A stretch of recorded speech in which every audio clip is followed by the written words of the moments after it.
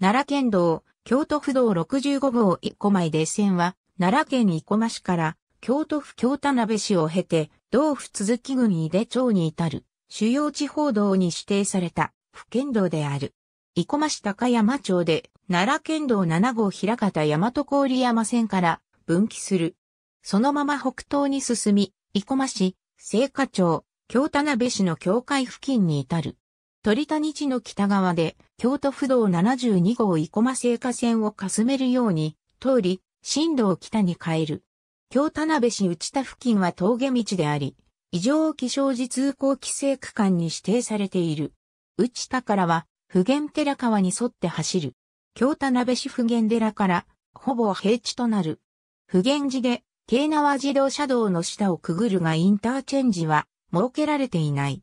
京田辺市三山木で JR 学研都市線と近鉄京都線の高架下を通る。玉水橋で木津川を渡って井出町に至る。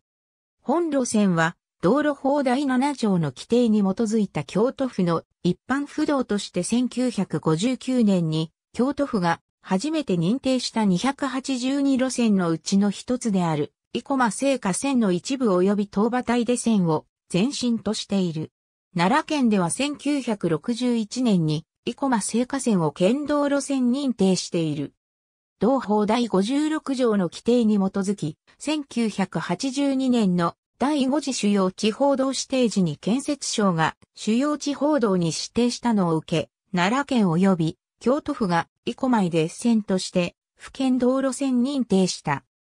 1994年の時点では、起点が生駒市の出店橋交差点にあり、奈良県道、京都府道72号生駒聖火線とともに、府県境を越えて、鈴木郡聖火町大技東畑商事鳥谷において、道路線と分かれていたが、1995年から2000年にかけて富尾川を北方へ遡上した川崎橋駅店が変更となって、それぞれ単独路線となっている。